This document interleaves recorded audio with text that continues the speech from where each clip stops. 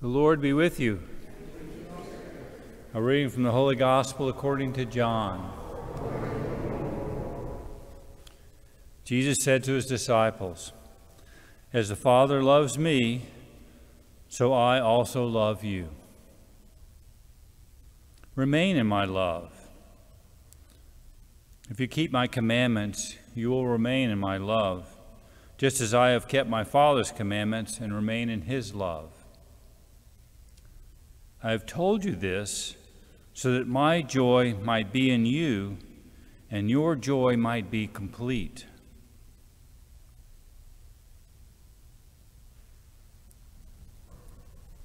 The Gospel of the Lord.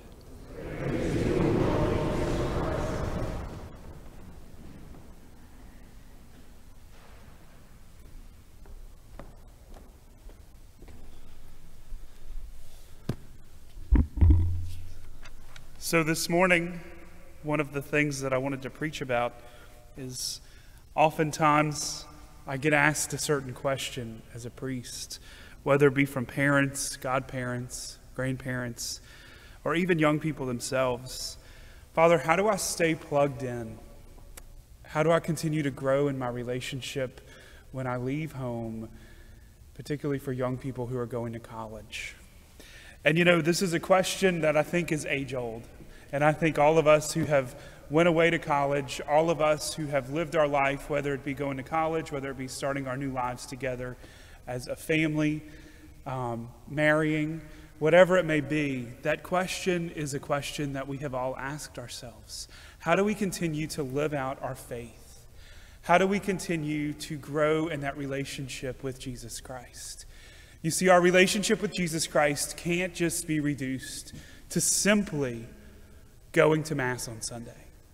We cannot grow in relationship with Jesus if we just encounter Him once a week. We have to supplement that encounter with prayer. We have to stay plugged in, whether it's getting involved in a particular group. Maybe for college students, it's going to the Catholic Student Association. Uh, or maybe it's even getting involved. I know in a lot of the college campuses, there's the Focus mis- mis- uh, Ministry, Fellowship of Catholic University Students. And so I encourage you here today. I know this is not our college crowd, right? But I know that each and every one of you have a college student who you could think of who might need that encouraging word from you. You know, our young people, we live in a world that is telling people anything but have a relationship with Jesus Christ. We live in a world that's saying, just do what makes do what feels good, do what makes you makes you happy. It's not about anything else. But the reality is we have to stay Christ-centered in our relationship, y'all. We have to grow in our relationship with our Lord Jesus Christ. And college can be a great moment for these young people to grow in faith. About uh, three years ago, as a transitional deacon, I was sent up to Hattiesburg uh, to Father Mark Ropel's parish. And it was a wonderful parish, you know, uh, at the University of Southern Mississippi. And I got to work with some wonderful college students who still come and talk to me frequently. And one of the things that stood out to me is that we would get up on Monday mornings at 6 a.m. and we would have a prayer walk for three miles. And we would walk with the college students and we would pray the rosary and we would pray the chaplet of divine mercy. And we would talk with the college students after we were finished praying. And it was such a moment of accompaniment. It was a moment when it reminded me of scripture of being that Ananias, that person who is walking with those in faith.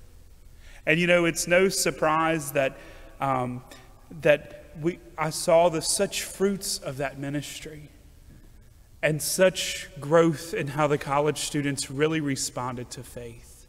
And so I encourage you, and that brings the question today how are we journeying with people in faith? Are we bold enough to take that opportunity to walk alongside someone in their faith. Maybe it might not be a college student, maybe it might be a shut in.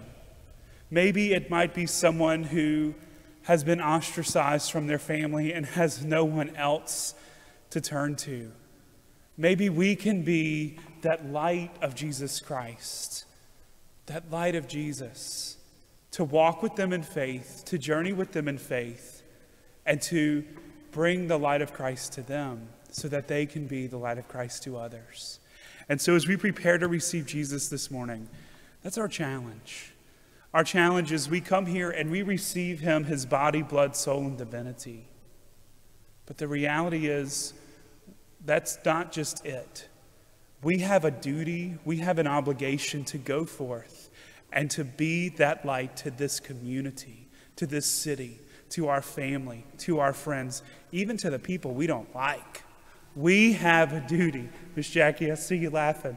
We have a duty, even the people we don't like, we have a duty to share the good news of Jesus Christ with. And so, as we receive him this morning, we pray, Lord Jesus, give us the courage through the gift, the gifts of the Holy Spirit that we received at confirmation, to go forth and to be that light of you, Jesus. We recognize in this Easter season and we are so thankful for the great gift of your resurrection, Jesus. But give us the courage to go forth and to proclaim that, to go forth and to proclaim the good news that you have done in our lives, the good news that you are doing in our lives.